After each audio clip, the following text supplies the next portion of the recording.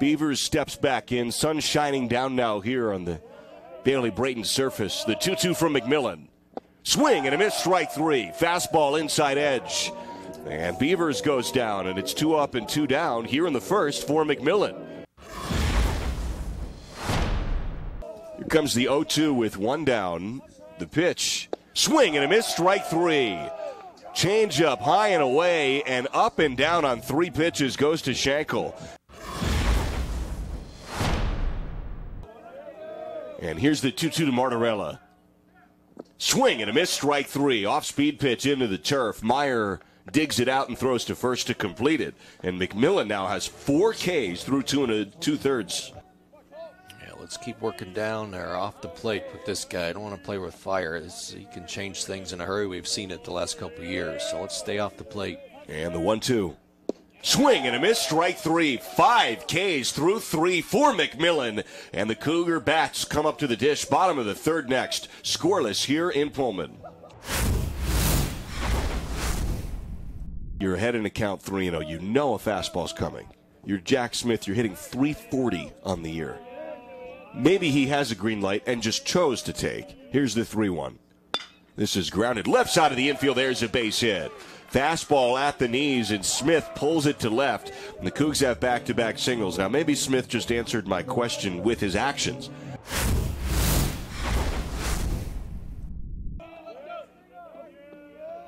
And the 2 0. Swung on and lifted deep to center field. Back goes Manning to the track. He can't get there. It pounds off the wall. Two runs will score easily. McKeon round second. Ball thrown in. It's a two RBI triple for McKeon as he slides into third. Washington State's seventh hit of the game makes it 2 0 Cougs. This ball was hammered, the 2 0 count, and he was ready for it. So the big right handed power hitter, uh, we've seen some long home runs uh, this year from him, or the last couple years from him, but uh, this ball was hammered to dead center field.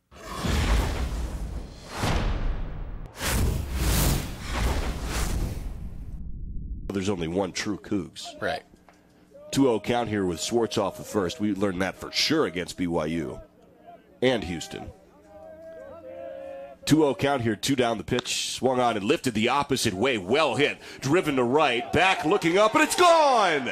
Nate Schwartz goes opposite way, a line drive homer, and it's 4 0 Cougs.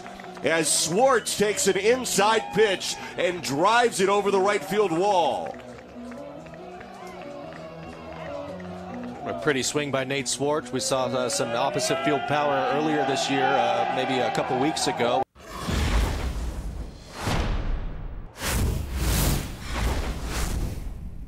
So here's Nathan Manning now, the eight hole hitter, the center fielder for Cal, who reaches for this one and loops it out into the gap and right. Montez dives and makes the grab. His hat falls off as he supermans towards center. And back to back series now, Montez has an incredible play in right field. Dead sprint, full dive towards center, right into the webbing, and Montez has the second out of the fifth.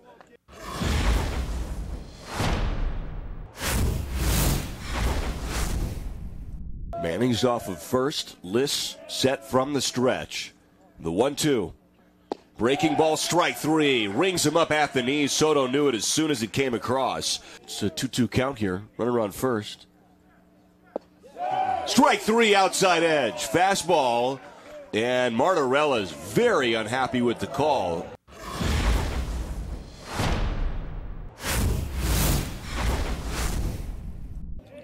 And here's the one two. Swing and a miss, strike three. Smith over the top of a breaking ball. And that's what Grillo has done so well now, his 28th K of the year. Tough sledding to get uh, over a thousand people here, but uh, all six previous uh, home Pac 12 games, we've had over a thousand people. We had 3,600 people for the weekend against Oregon State, uh, a series record. So uh, the Cougs are playing well. He's, you know, Coug fans will, will come out in full force. 2 2 swung on and missed strike three. Three up and three down here in the eighth. Two Ks for Grillo. We go to the bottom half. Cougs up 4 to 1. 0 2 count here, one down, runner on first. And the pitch from Grillo. Strike three, delayed call. put him down on a breaking ball and a three pitch strikeout for Grillo. 1 2 pitch to Green Jr. Grillo set and deals. Strike three, game over. Washington State beats Cal. On the outside edge, Grillo strikes out the last two here in the ninth, and the Cougs have their fifth Pac win and are now one of the hottest teams in the league. They have won four of their last five Pac games, and they beat Cal in game one of the doubleheader 4 to 1.